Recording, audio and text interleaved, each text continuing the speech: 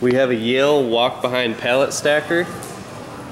It's a model MSW030. Runs on a 24 volt electric battery. Has a built-in charger to charge the battery. Has a 3,000 pound capacity.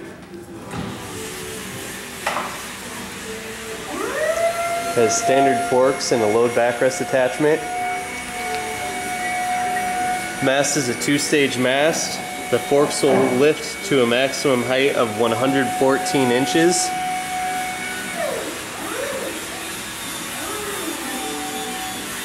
Due to height restrictions in our warehouse, we cannot lift it to full height, but it will lift to 114 inches. Has 97 original hours. Used very little. Has side shift function to move the fork carriage from side to side. The unit's running and operating and is ready to work for you.